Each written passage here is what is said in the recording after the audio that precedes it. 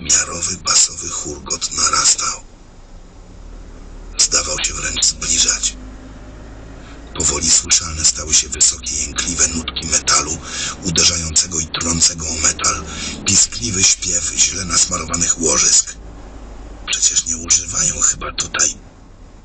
Pędzący na pełnej prędkości transporter opancerzony wyskoczył z za rogu. Wykręcił dziki półpiruet pośrodku dawnej głównej ulicy i lawirując pomiędzy przeszkodami pomknął dalej. Popatrzyłem na to zjawisko z cywilizacyjnej przeszłości niczym zauroczony. Wehikuł, naszpikowany płonącymi wściekłą bielą reflektorami i lampami, wyglądał niczym sunąca po asfalcie gwiazda. Aż zmrużyłem i przysłoniłem dłonią oczy, kiedy machina przejechała nie dalej niż kilkadziesiąt metrów ode mnie, na krótką chwilę zalewając okolice potokami światła. Mają rozmach skurwysyny. Mruknąłem z niedowierzaniem. Wóz wszedł fachowym driftem w zakręt, przy okazji staranował bokiem budkę telefoniczną i zniknął mi z oczu.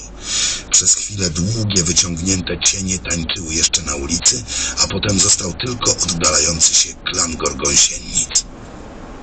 Odetchnąłem głęboko. Pokręciłem głową. A ja już myślałem, że tu lepiej nie.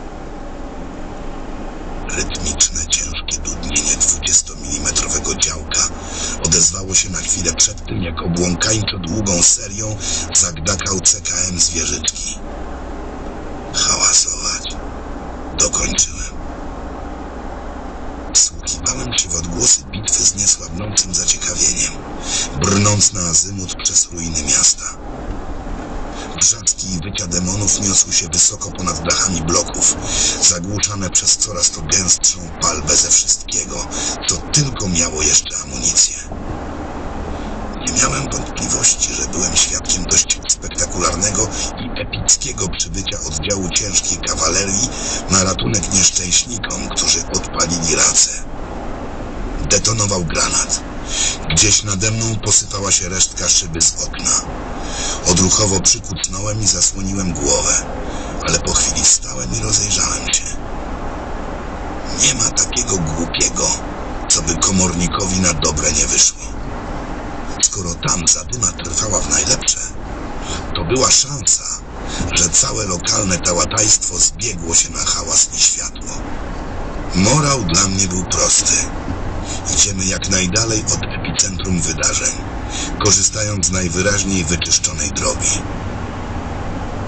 Wyszedłem na główny prospekt miasta bohaterów. Nie do wiary, że wciąż jeszcze stały tu tablice pamiątkowe, od których wzięło ono swój obecny przydomek. Nazwy miejscowości i miast, imiona i nazwiska żołnierzy, którzy tak czy inaczej wsławili się w wojnie. Wojnie, która teraz nie znaczyła dokładnie nic. Podobnie jak wszystkie wzloty i upadki człowieka. I pomyśleć, że z uporem godnym lepszej sprawy wierzyliśmy, że to my będziemy odpowiedzialni za koniec naszej cywilizacji. Ho, ho takiego wała. Kanonada powoli chyba cichła. Nie miałem nawet cienia wątpliwości, jak skończy się potyczka. Człowiek i jego maszyna w starciu z wysłannikami nie mieli najmniejszych szans. Gdy w końcu przebrzmiał ostatni wystrzał, uśmiechnąłem się tylko smutno. Poszło nawet szybciej niż przypuszczałem. A potem usłyszałem wycie silnika i churgot gąsienic.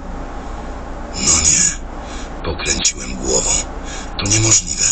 Jakim cudem ludzie, jakkolwiek wyszkoleni i wyekwipowani, mieliby odbić się hordzie stworów z rewersu?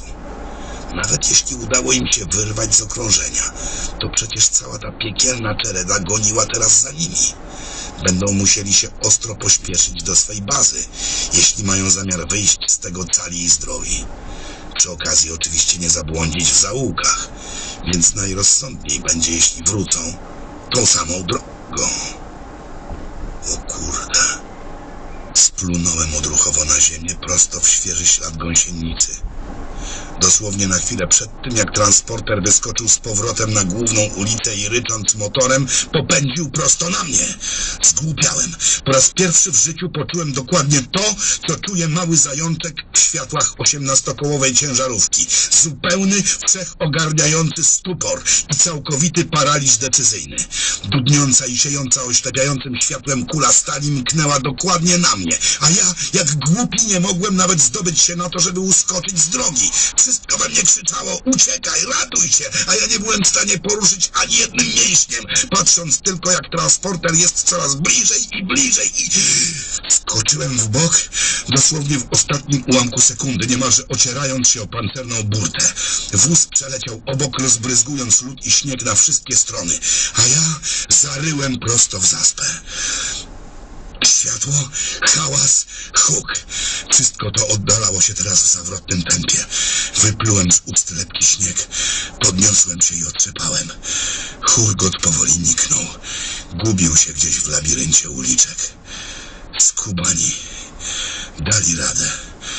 Oderwali się od ścigającej ich fali potworów, które teraz...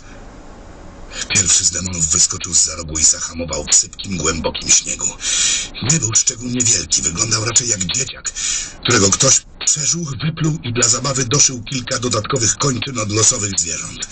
Rozejrzał się cokolwiek zdezorientowany.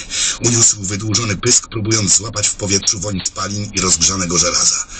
I wtedy zobaczył mnie. O kurwa mać, szepnąłem. Czerwone ślepia patrzyły na mnie tylko przez chwilę. Potem po prostu odwróciłem się i rzuciłem do biegu.